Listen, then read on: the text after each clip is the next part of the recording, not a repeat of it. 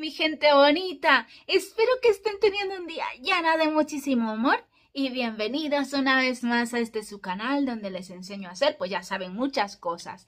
En el vídeo de hoy les quiero enseñar, como ya han visto en el título, cómo pueden hacer ustedes este fabuloso alfiletero. Es súper fácil de hacer y además que puede ir para todo tipo de medidas de muñecas, es decir, que es adaptable es súper, súper, súper práctico, la verdad. Ya lo he utilizado varias veces y es muy práctico porque ustedes sacan los alfileres, enganchan en la tela, lo que tengan que hacer, lo vuelven a colocar. Es súper práctico, no se nos caen los alfileres y además se puede lavar.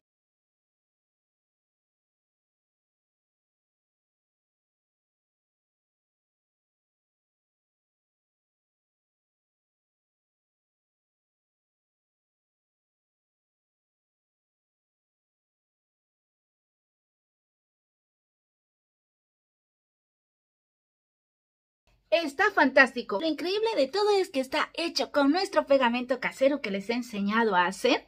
Es súper resistente. Ya llevamos con este pegamento más de seis meses. La verdad es que sigue pegando fantásticamente bien. Pero bueno, no se me preocupen. Si ustedes no tienen este pegamento o no lo han podido realizar, pueden hacer con otros pegamentos que sirvan para tela. Es decir, que sea para tela y también les va a salir. Así que les dejo, mis amores, les enseño cómo es que lo pueden realizar y yo me despido hasta otro video. ¡Adiós! Para hacer nuestro alfiletero lo que vamos a estar utilizando va a ser unos retalitos de tela de los colores que ustedes tengan y del material que ustedes tengan. En este caso yo tengo telitas de algodón.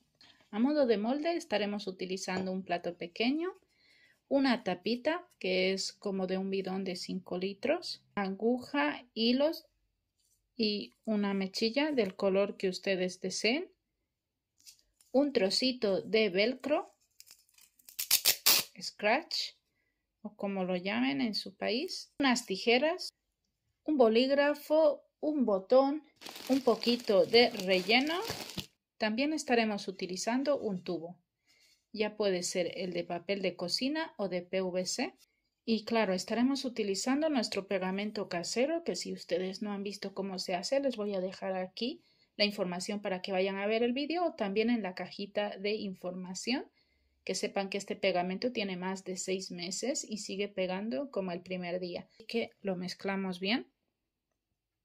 Procurar trabajar en un lugar que esté aireado